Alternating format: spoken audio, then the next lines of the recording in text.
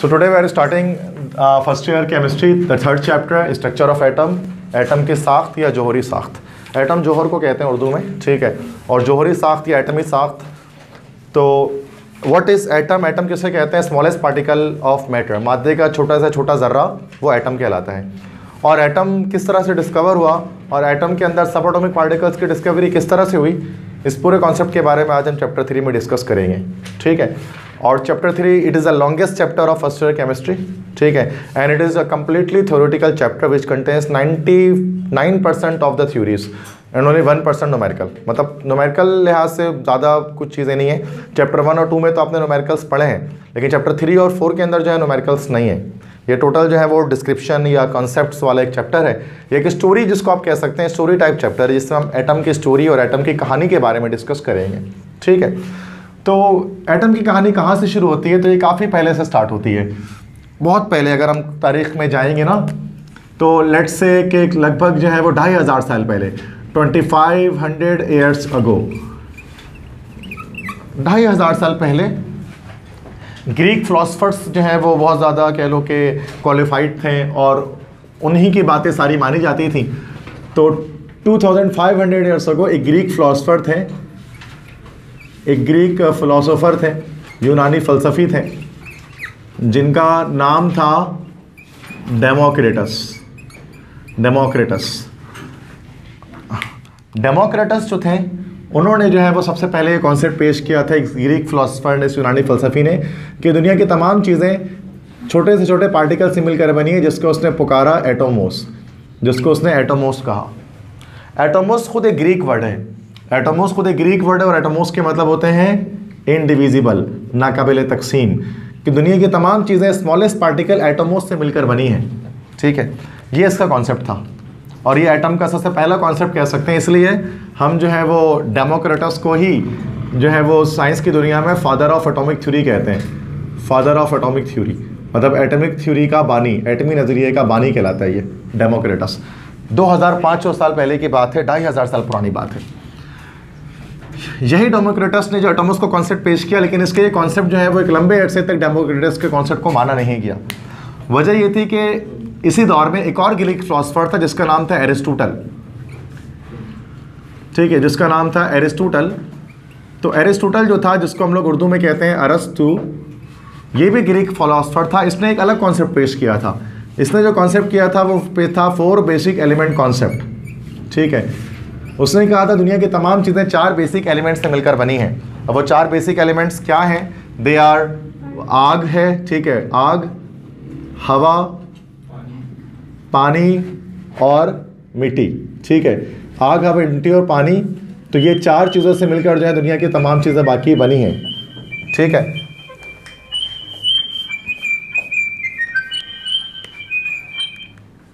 Hello हाँ? नहीं हो रहा? गैस है?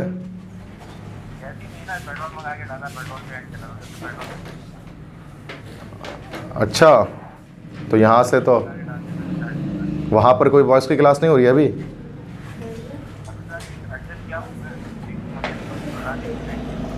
चलो, मैं मैकेनिक को भेज देता हूँ अभी। रुक जाओ।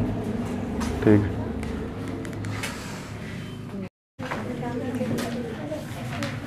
ओके सो एरिस्टोटल जो था, वो फोर बेसिक एलिमेंट का कॉन्सेप्ट उसने पेश किया था कि दुनिया की तमाम चीज़ें आग, हवा, पानी और मिट्टी से मिलकर बनी हैं।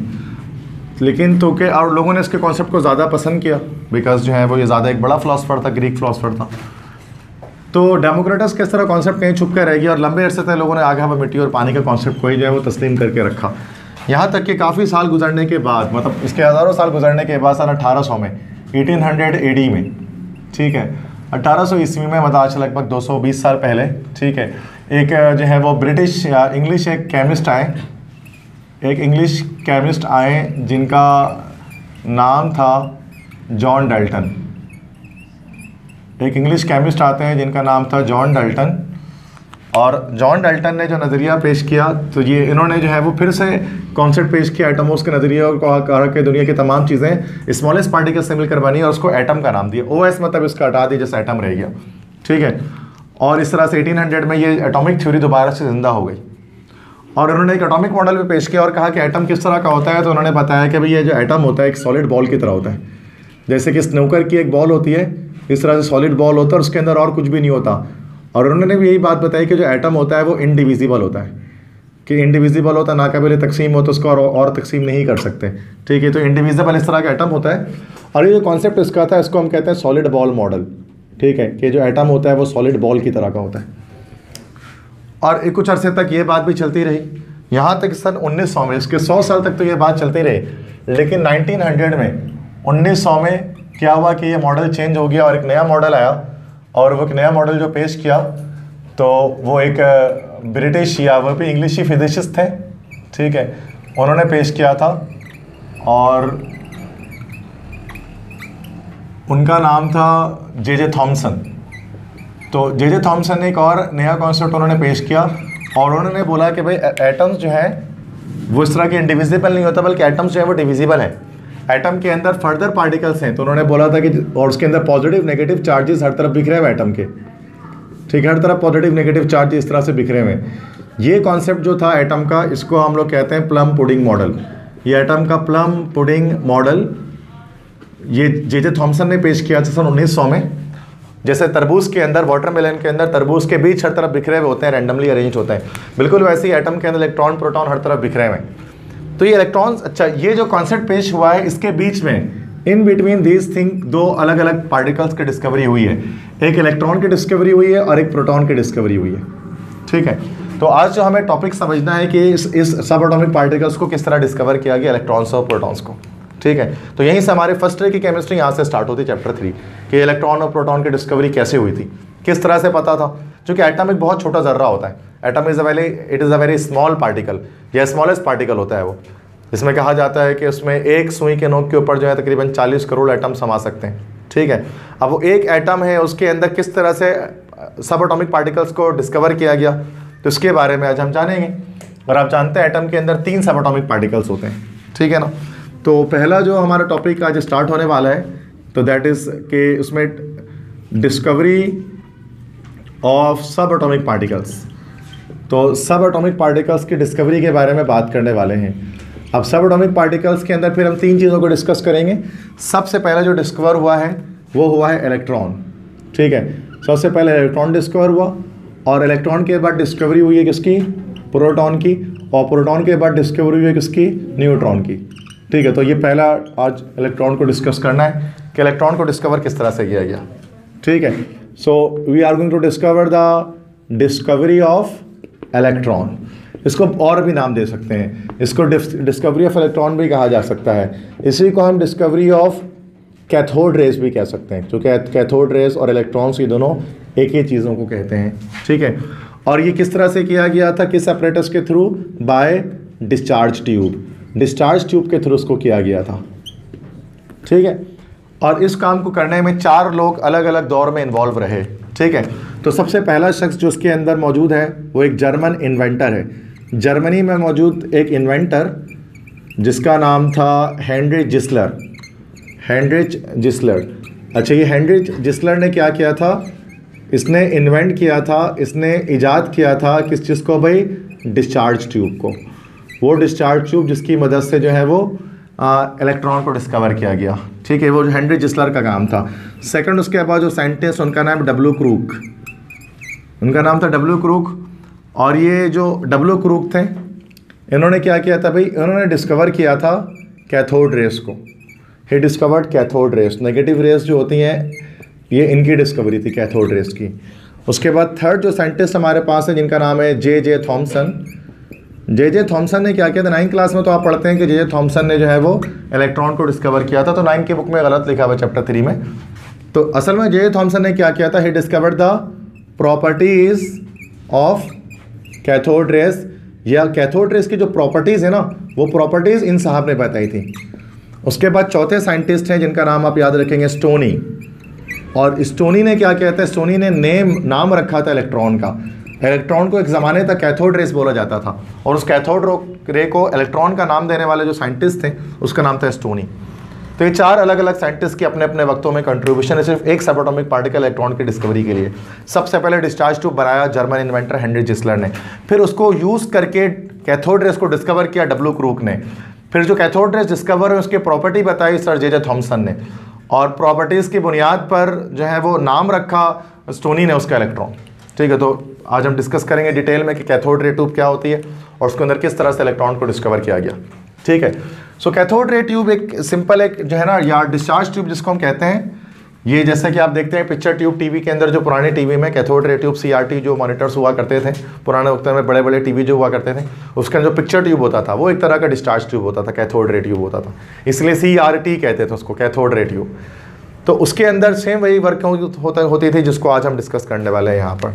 ठीक है? तो नाइन्थ क्लास में भी आपने इसको पढ़ा होगा, लेकिन आज हम इसको डिटेल में डिस्कस करने वाले हैं।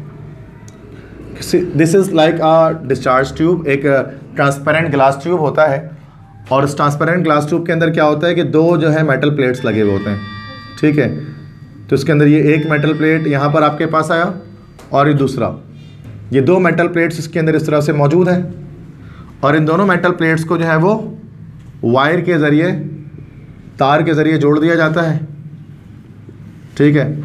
और वायर के ज़रिए, तार के ज़रिए हम इसको इस तरह से जोड़ देते हैं। ठीक है? एक मिनट। तो ये डिस्चार्ज ट्यूब आपके पास है ट्रांसपेरेंट ग्लास ट्यूब है ग्लास का बना होता है सिलेंडर जैसा होता है आर पार आप इसे देख सकते हैं। ठीक है? सो so, ये आपके मैं यहाँ पर लिखता हूँ this is a transparent glass tube ठीक है? इसके आर पार देखा जा सकता है। और इसके साथ ये दो यहाँ पर जो है ना प्लेट्स लगे हुए मेटल के प्लेट्स लगे हुए और उसको बैटरी के साथ जोड़ दिया गया सेल के साथ। अब सेल में इस तरह से दो लाइंस बनी होती हैं, एक छोटी लाइन और एक बड़ी लाइन होती है, ठीक है? जो छोटी लाइन होती है that is actually the positive end और जो बड़ी लाइन होती है that is the negative end ठीक है? नेगेटिव से हमेशा नेगेटिव जाकर जुड़ता है पॉजिटिव से हमेशा पॉजिटिव जाकर जुड़ता है, ठीक है? तो ये हमारे पास, ये वाला जो इलेक्ट्रोड है अच्छा इसको इलेक्ट्रोड्स कहते हैं तो ये हमारे पास होता है पॉजिटिव इलेक्ट्रोड ये हमारे पास है पॉजिटिव इलेक्ट्रोड और पॉजिटिव इलेक्ट्रोड को हम लोग क्या कहते हैं? हम लोग उसको कहते हैं एनोड ठीक है? और ये वाला चूँकि नेगेटिव टर्मिनल से जुड़ा है जाकर बैटरी के तो इसको हम लोग क्या कहते हैं? This is the negative electrode पहली बात तो ये नेगेटिव इलेक्ट्रोड है। और उसी नेगेटिव इलेक्ट्रोड को शॉर्टकट में हम लोग बोलते हैं कि क्या है भाई ये? कैथोड है ये। तो एनोड और कैथोड ये दोनों इलेक्ट्रोड्स होते हैं। एक पॉजिटिव होता है, एक नेगेटिव होता है। ठीक है? और इसके अंदर हमने कोई गैस भर दी है। कोई भी गैस है एक्स वाई जी कोई भी गैस है। लेट से कि हमने इसके अंदर हाइड्रोजन गैस को भर दिया है। ठीक है? तो कोई भी गैस इसके अंदर हो सकती है। अच्छा इस वक्त जैसे कि मिसाल के तौर पे कि यहाँ चलो एक बल्ब भी लगा देते हैं, ताकि जब करंट पास हो तो हमें अंदाज़ा हो गया भाई करंट पास हो रहा है। तो यहाँ पे एक बल्ब लगा दिया। ठीक है तो यहाँ पर एक बल्ब लगा हुआ है मौजूद। अभी अगर यहाँ से अगर मैं तार को तोड़ देता हूँ यहाँ से तो उसका मतलब करंट पास नहीं होगा इससे अभी। है ना सर्किट कंप्लीट नहीं है। और अगर मैं इसको इस तरह से जो है वो अच्छा इसके अंदर कोई भी गैस मौजूद है ना, ठीक है? अगर अब यहाँ से अगर मैं इसको जोड़ दूँ तो क्या अब करंट पास हो जाएगा और क्या अब ये बल्ब जल जाएगा? yes. नहीं जलेगा, अभी भी। क्यों? बिकॉज़ यहाँ पर बीच में गैस है। यहाँ से करंट अगर निकल कर आगे जाता है भी है तो इधर पे तो फंस जाएगा बीच में आके। तो ये इससे जुड़ा हुआ थोड़ी ना है। बीच में क्या है? गैस है। और गैसेस के बारे में जानते हैं कि गैसेस जो होती हैं गैसेस क्या होती हैं? Gases are actually insulators gases insulator होती हैं बैड कंडक्टर होती हैं। गैस से करंट पास नहीं होता। क्या गैस से करंट पास होता है? क्या हवा से करंट पास होता है? नहीं होता ना भाई। हवा से करंट पास होता दुनिया में एक इंसान भी बचा नहीं रहता अभी। सबके सब मर जाते करंट रख के। वो तो अल्लाह का करम है कि कर, हवा से करंट पास नहीं करते अल्लाह ताला। ठीक है? साइंस उसके पीछे पूरी है कि भाई क्यों नहीं पास होता? फ्री इलेक्ट्रॉन्स नहीं होते। तो मैं ये बता रहा हूँ कि हवा से करंट पास नहीं होता किसी भी गैस से करंट पास नहीं होता। All the gases are insulator of electricity तो ये तो गैस है ना बीच में तो करंट कहाँ से पास करेगा? ये तो सर्किट कंप्लीट ही नहीं है बीच में तो पूरा खाली है सर्किट ये तार इसके साथ जुड़ा हुआ थोड़ा ना चिपका कर होना रखा हुआ इसको। तो कर, तो बल्ब नहीं जलेगा अभी भी।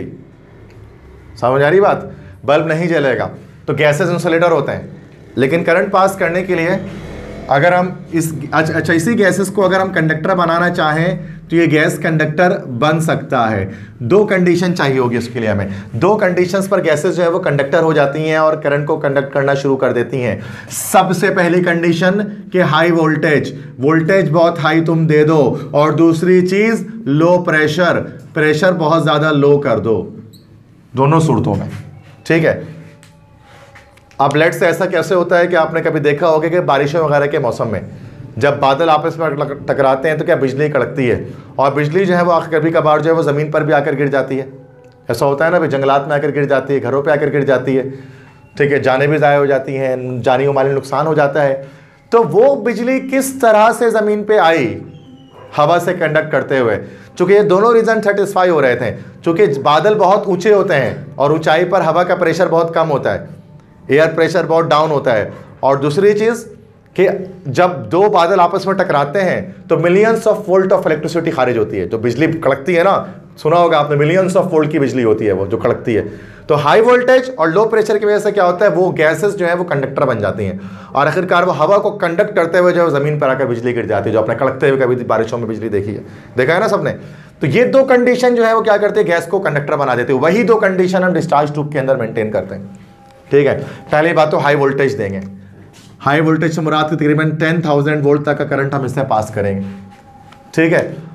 और दूसरी चीज़ क्या करना पड़ेगा भाई हमें? लो प्रेशर प्रेशर रिड्यूस करना पड़ेगा। प्रेशर को लो करने के लिए हम यहाँ पर क्या करेंगे? इधर से, यहाँ से हम थोड़ा सी जगह छोड़ेंगे और इधर से हम बना देंगे एक चीज़, वो क्या है? Vacuum pump to vacuum pump यहाँ से एक पाइप निकाल देंगे वैक्यूम पंप के साथ जोड़ देंगे। और वैक्यूम पंप क्या करता है? वैक्यूम पंप करता है प्रेशर को रिड्यूस ठीक है? तो इट रिड्यूसेस प्रेशर ये गैसेस का प्रेशर अंदर जो है वो कम करता है। तो क्या होता है कि प्रेशर को रिड्यूस करेंगे और हाई वोल्टेज देंगे। तो अब क्या होगा? अब इसमें से गैसेस कंडक्टर बन जाएँगी।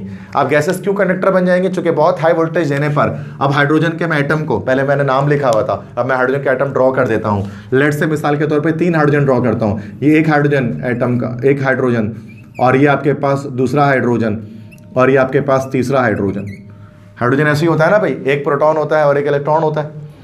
जब हाई वोल्टेज करंट पास करते हैं तो ये गैसेस क्या हो जाती हैं? आयोनाइज हो जाती हैं। ठीक है?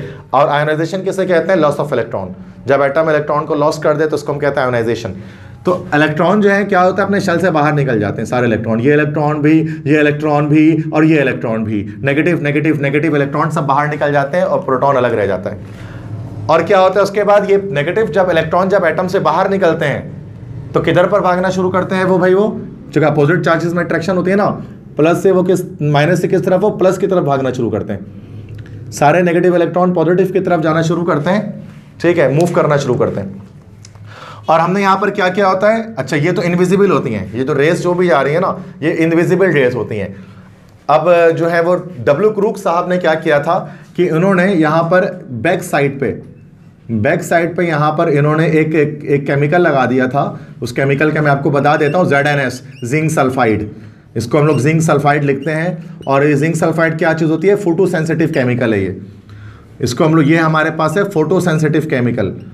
और फ़ोटो सेंसिटिव केमिकल किसे कहते हैं कि जब भी जाकर इस पर कोई भी रेज आकर टकराएँगी तो ये ग्लो करना शुरू कर देगा, चमकना शुरू कर देगा।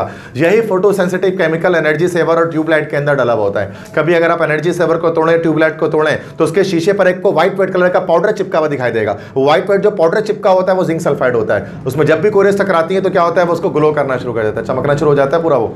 वही होता है जिंक सल्फाइड तो जब ये जब ये जाकर यहाँ पर आगे जाकर जिंक सल्फाइड पर जाकर टकराती हैं तो क्या होता है? बैक साइड पे ग्लो, एक चमक आनी शुरू हो जाती है। बात समझ में आ रही है? तो डब्ल्यू क्रूक्स ने क्या किया? एक डिस्चार्ज ट्यूब लिया, उसके अंदर उसने कोई भी गैस भर दी, कोई भी गैस भर दी, और जब उसने हाई वोल्टेज करंट पास किया प्रेशर को करके तो उसको देखा उसने कि कुछ ऐसी रेज हैं जो कैथोड से एनोड की तरफ़ जा रही हैं, और उस रेस को उन्होंने नाम क्या दिया? क्योंकि कैथोड से एनोड की तरफ़ जा रही हैं तो इस रोज को उसने कहा कैथोड रेस और वही कैथोड रेज उसने ऑब्ज़र्व कैसे किया कि एनोड के बैक साइड पे ग्लो हो गया।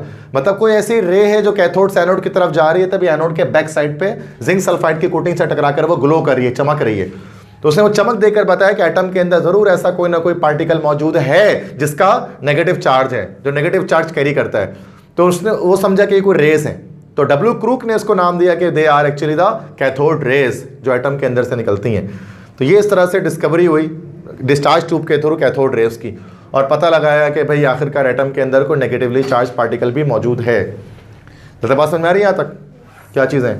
ठीक है।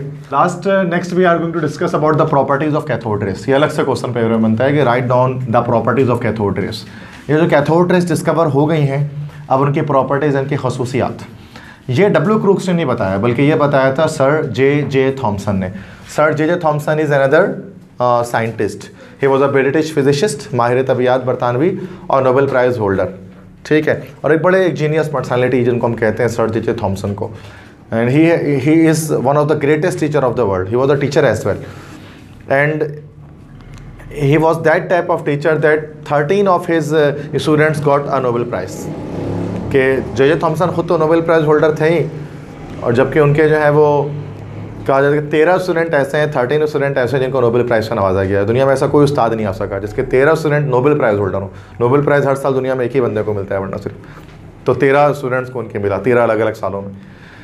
ठीक है तो जे जे थॉमसन ने प्रॉपर्टीज़ बताई थी कैथोड्रिस की। They are the most genius person जिनको हम चैप्टर थ्री में हम डिस्कस करते हैं एटॉमिक स्ट्रक्चर के बारे में। कि उन्होंने कैसी चीज़ों के बारे में बताया जो कि आँख से दिखती भी नहीं है। ऐसी चीज़ के बारे में बताना। देखो, जो चीज़ दिखती है उसके बारे में डिस्क्राइब करना तो हर इंसान के लिए आसान है। अब जो चीज़ दिखती ही नहीं, इतनी छोटी है, और उसके बारे में इतनी सारी बातें बताना कि सबसे बड़ा चैप्टर लिख देना पूरे फ़र्स्ट ईयर का, ये एक बहुत बड़ी कह लो कि एक इंटेलिजेंस वाली और जहानत वाली बात है। है ना? तो अब इस लिहाज से आठ प्रॉपर्टीज़ हम यहाँ पर डिस्कस करेंगे, जो है वो कैथोड रेस की। तो सिंपल सिंपल है, और कुछ प्रॉपर्टीज़ हैं, उनके एक्सपेरिमेंट्स भी है, दोनों चीज़ें डिटेल में बताऊँगा। फ़र्स्ट प्रॉपर्टी है they travel in straight line सीधे रास्ते में ट्रैवल करती हैं ख़त मुस्तकीम में ट्रैवल करती हैं कैथोड रेस जैसे कि लाइट ट्रैवल करती है। तो and and that's why they produce sharp shadows of object इस वजह से वो शार्प शेडो बनाती है ऑब्जेक्ट का। देखो, कैसे पता लगता है कोई भी जो कोई रेस तो इनविजिबल है, दिख तो नहीं है। अब कैसे पता लगता है कि कोई रे स्ट्रेट लाइन में ट्रैवल कर रही है? मिसाल के तौर पर कि ये जो रोशनी है एनर्जी सेवर की रोशनी जो आ रही है लाइट भी स्ट्रेट लाइन में ट्रैवल करती है। लेकिन क्या आपकी लाइट लाइन बनते हुए दिखाई देती है? रेस के सीधी आ रही है या जिक्जैग आ रही है या स्पायरल पाथ में आ रही है, नहीं ना? तो हमें कैसे पता है कि स्ट्रेट लाइन में ट्रैवल कर रही है? तो दिखती नहीं है। ये तो बस रोशनी हर तरफ़ दिख रही है। तो इसको हम कैसे बताते हैं? इस तरह से, जैसे रोशनी, इस एनर्जी सेवर की रोशनी के बारे में मुझे बताना है एलईडी लाइट के, कि ये स्ट्रेट लाइन में ट्रैवल करती है। जैसे मैं यहाँ पर अपना हाथ रखता हूँ। जब मैं हाथ रखूँगा अपना तो मेरे हाथ के बैक साइड पर बोर्ड पर जो है वो मेरे हाथ का एक शेडो बन जाएगी एक परछाई बनी है। और वो जो परछाई बनी है ना, वो बिल्कुल वैसे ही है जैसे मेरे हाथ हैं। इसको हम कहते हैं शार्प शेडो। शार्प शेडो उस सूरत में बनेगा जब ये सीधे आएँगे। अगर ये इरेगुलर आती ना, आड़ तिरछी आती तो बिल्कुल मेरे हाथ जैसा शेडो पीछे नहीं बनता। थोड़ा आड़ा तिरछा सा शेडो बन जाता, इरेगुलर सा शेडो बन जाता। ये सारी लाइट सीधे आ रही हैं और जहाँ जहाँ पे मेरे हाथ पे नहीं टकरा पा रही है, वहाँ वहाँ पीछे ब्लैक आ जा रहा है। बिल्कुल सेम एग्जैक्टली तो इससे ये पता लगता है शार्प शेडो से कि जो है वो लाइट स्ट्रेट लाइन में ख़त मुस्तकीम में ट्रैवल करती है। बिल्कुल ऐसे कैथोड रेस गुजर रहे हैं, अगर आप इसके बीच में हाथ अगर रख दो तो शेडो जो बनेगा ना स्क्रीन पर, वो शेडो कैसा बनेगा? शार्प बनेगा। जैसे ये साबित होता है कि कैथोड रेस भी स्ट्रेट में ट्रैवल करते हैं, जैसे कि लाइट की रेस करती हैं स्ट्रेट लाइन में ट्रैवल पसंद में आ गई पहला पॉइंट ठीक है एक एक करके हर पॉइंट को समझना है। सेकेंड पॉइंट कि these rays extend from cathode and move towards anode ये रेस कैथोड से निकल रही हैं और एनोड की तरफ़ जा रही हैं। सही है? कैथोड से निकल रही है और एनोड की तरफ़ जा रही हैं, तभी तो एनोड के बैक साइड पर ग्लो हो रहा है। इसलिए इसको कैथोड रेस भी कहा जाता है। सेकेंड पॉइंट तो ये कैसे पता लगा कि कैथोड की तरफ़ जा रही है? एनोड से निकल कर जो कैथोड के बैक साइड पे ग्लो हो रहा है। एनोड के बैक साइड पे ग्लो नहीं हो रहा। ठीक है? Next these rays carry negative charge. That's why they are deflected towards positive plate in magnetic field. इन रेस का नेगेटिव चार्ज होता है कैसे पता लगा कि जब इनको मैग्नेटिक फ़ील्ड के अंदर ये क्या करते हैं? डिफ्लेक्ट होते हैं पॉजिटिव प्लेट की जानिब मिसाल के तौर पे, अगर मैं यहाँ पर कोई एक मैग्नेटिक फ़ील्ड अप्लाई कर दूँ। लेट से यहाँ पर देखें, मैं बनाता हूँ। यहाँ पर एक मैग्नेटिक फ़ील्ड मैं बना दे रहा हूँ। हॉर्स शू मैग्नेट लगा दिया मैंने, सही है? तो ये मैग्नेट मैंने लगा दी यहाँ पर। एक मैग्नेट का प्लस हो गया, एक मैग्नेट का माइनस हो गया, या नॉर्थ साउथ होता है। तो अब क्या होगा, जब ये मैग्नेटिक फ़ील्ड यहाँ पर लेकर आएँगे तो ये स्ट्रेट नहीं जाएँगे ये रेस ये रेस क्या होंगी? स्ट्रेट जाने के बजाय ये रेस जो है वो मुड़ जाएँगे। किस तरफ़? पॉजिटिव की तरफ़। इससे क्या साबित हो रहा है? कि इन रेस का खुद चार्ज कैसा है? नेगेटिव तभी तो पॉजिटिव फ़ील्ड की तरफ़ मुड़ रही है मैग्नेटिक फ़ील्ड में। जब मैग्नेट लेकर आते हैं ना तो कि रोशनी जो होती है ना लाइट ये रोशनी तो कोई चार्ज कैरी नहीं करती है। लेकिन कैथोड के पास नेगेटिव चार्ज होता है, तभी बैट जो है वो मैग्नेट के पॉजिटिव पोल की तरफ़ क्या करती हैं ओरिएंट कर जाती हैं, वहाँ पर डिफ्लेक्ट कर जाती हैं। ठीक है? तो ये हमारे पास जो है वो तीसरा पॉइंट हो गया। अब चौथा point cathode rays consist of material particle called electrons ये कैथोड रेस लाइट रेस की तरह नहीं होते हैं। जो मासलेस पार्टिकल होता है, नहीं, ये मटेरियल पार्टिकल पर मुश्तमिल होता है। मटेरियल पार्टिकल का मतलब जिसका कोई ना कोई मास होता है। और उन मटेरियल पार्टिकल को क्या कहा जाता है? इलेक्ट्रॉन्स तो कैथोड रेस जो निकल रहा है, वो मटेरियल पार्टिकल की सूरत में निकल रहे हैं और उनको स्टोनी ने इलेक्ट्रॉन का नाम दिया। कि लाइट रेस की तरह बिना वज़न के नहीं है, बल्कि इनका कोई वज़न है, ये कोई पार्टिकल पर मुश्तमिल है ये छोटे छोटे पार्टिकल्स है असल में, और वही सब एटॉमिक पार्टिकल्स कौन से हैं? इलेक्ट्रॉन्स हैं। तो छोटे सब पार्टिकल्स पर मुश्तमिल है अच्छा अब आप बोलेंगे, सर, कैसे पता लगा?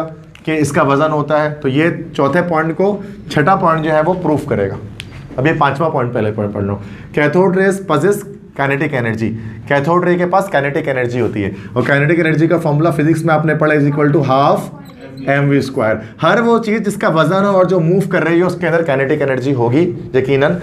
अभी हमने पढ़ा कि कैथोड रेस मटेरियल पार्टिकल है, उनका मास यकीनन कुछ ना कुछ होगा। इलेक्ट्रॉन्स का मास होता है 9.11 point one one multiply by ten to the power minus thirty one K G तो ये मास होता है इलेक्ट्रॉन का, और वेलोसिटी भी है जो कि मूव भी कर रही है। अब मास वेलोसिटी दोनों है तो उसका मतलब ये काइनेटिक एनर्जी भी पोजेस करेगी। इसके पास एनर्जी हुई काइनेटिक एनर्जी अब कैसे पता कि मास इसका है? ये छठे पॉइंट पे हम बात करते हैं। ठीक है? Cathode rays can exert exert मतलब होता है लगाना। कैथोड रेस लगा सकती है मैकेनिकल प्रेशर मैकेनिकल प्रेशर दबाव लगा सकती हैं। That's why they can rotate a light paddle wheel जिस वजह से ये हल्के पेडल व्हील को घुमा सकती हैं। पेडल व्हील किसे कहते हैं? पेडल व्हील मतलब जैसे कि आपने देखा होगा कि कागज़ के जो है वो हम वो बनाते हैं ना, वो फ़ैन टाइप के जो बना रहे होते हैं, उसको पेडल व्हील कहते हैं। इस तरह का बना हुआ होता है, लाइक देखा होगा आपने, चलो मैं इस तरह से बना देता हूँ। ठीक है इस तरह से। कागज़ की पंखड़ी जो है ना, वो जो घूमता है, हवा चलती है तो घूमना शुरू हो जाता है। जैसे बसों वगैरह में, रिक्शे में भी आगे लगा होता है। जब रिक्शा तेज़ी में जा रहा होता है तो घूमना शुरू कर देता है वो। तो पैडल व्हील या पिन व्हील उसको हम कहते हैं। तो ये पैडल व्हील या पिन व्हील इसी वक्त घूमेगा जब इस पर कोई चीज़ आकर टकराएगी फोर्स लगाएगी। जैसे हवा।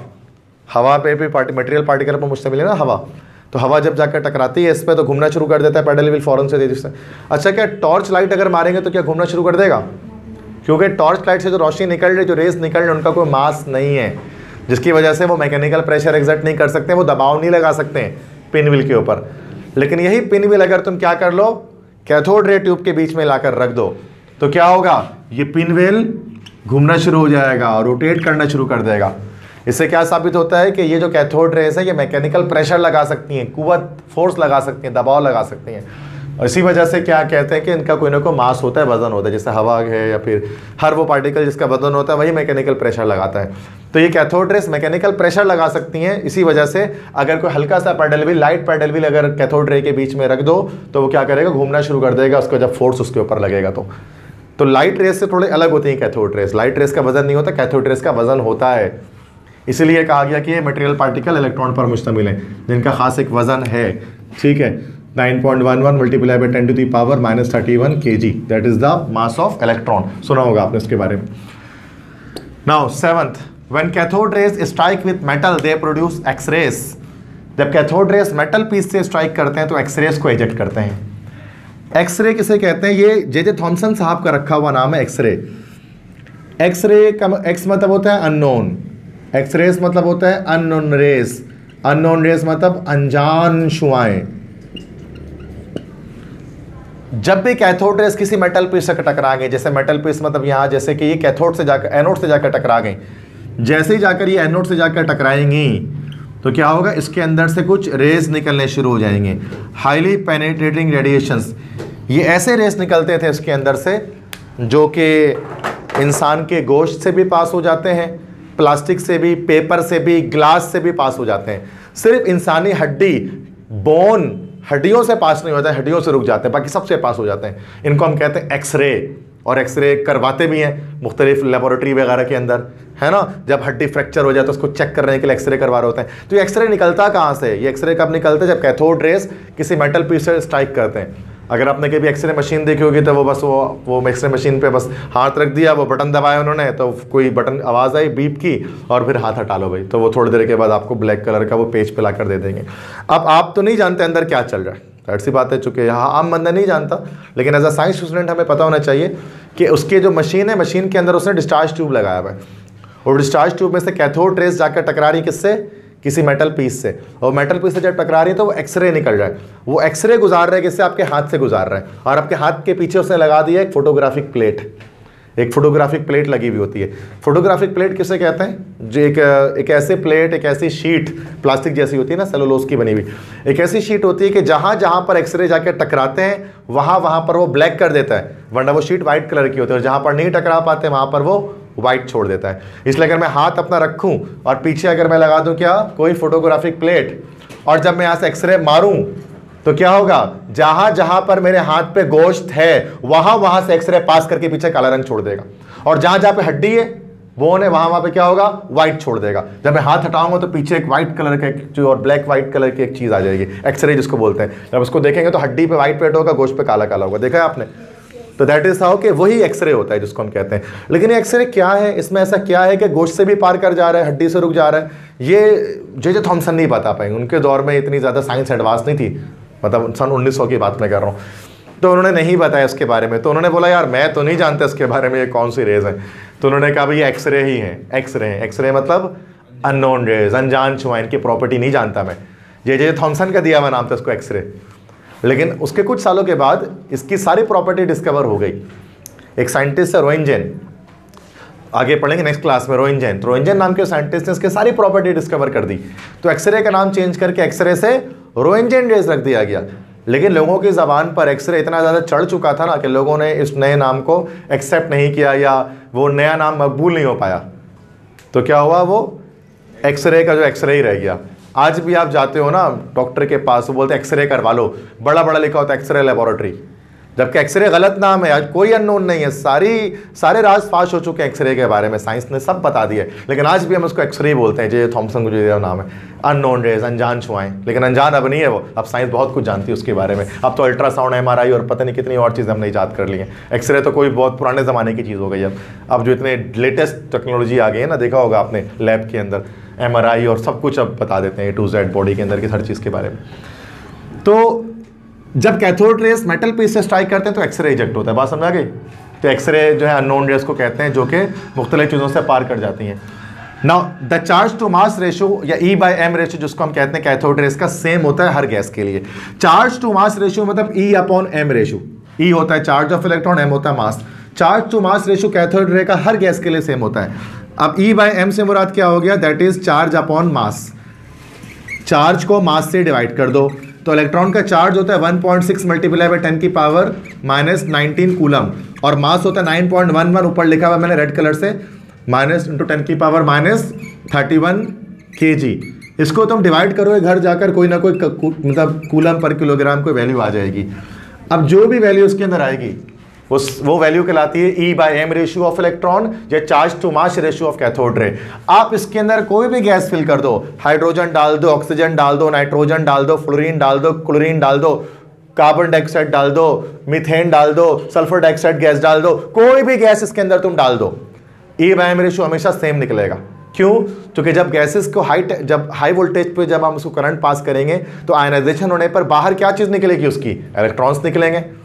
है ना भाई? तो इलेक्ट्रॉन निकलेंगे और इलेक्ट्रॉन तो सबके इलेक्ट्रॉन का चार्ज और मास सेम ही होता है। अब चाहे कोई भी गैस डाल दो। इसलिए हम कहते हैं चार्ज टू मास रेशो हुई अपॉन एम रेशो हर गैस के लिए सेम आएगा। अब चाहे कोई भी गैस इसके अंदर फिल कर दो। चूँकि आयोनाइज करने पर बाहर से इलेक्ट्रॉन ही निकल रहे हैं। इलेक्ट्रॉन्स का मास और चार्ज कॉन्स्टेंट वैल्यू है जिसको आप डिवाइड करके सेम वैल्यू आएगी हमेशा। बात समझ आ रही है? So this is all about the properties of cathode rays जो आज आठ प्रॉपर्टीज़ हैं। अच्छा मैं आपसे एक सवाल करता हूँ। रिकॉर्डेड लेक्चर के अंदर ही क्वेश्चन करता हूँ। देखते हैं कौन जवाब दे सकता है इसका। कि इलेक्ट्रॉन तो डिस्कवर हो गया इस प्रोसेस से डिस्चार्ज ट्यूब के। डब्ल्यू क्रुक ने उसको डिस्कवर कर लिया, लेकिन डब्ल्यू क्रुक प्रोटॉन को डिस्कवर नहीं कर पाए इससे। अगरचे मुझे लगता है कि प्रोटॉन भी डिस्कवर हो जाना चाहिए था, क्यों? तो क्यों डिस्कवर नहीं हो सका प्रोटॉन इससे? प्रोटॉन क्यों नहीं डिस्कवर हो डिस्चार्ज ट्यूब से? जब चूँकि हाइड्रोजन के अंदर तो इलेक्ट्रॉन प्रोटॉन दोनों थे ना, अब इलेक्ट्रॉन अगर निकल के यहाँ गया है तो प्रोटॉन को भी निकल के इस तरफ़ आना चाहिए था ना भाई?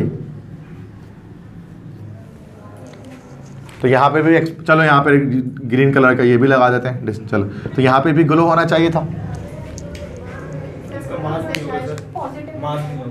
मास नहीं बिल्कुल मास होता है प्रोटॉन का मटेरियल पार्टिकल तुम बोलो।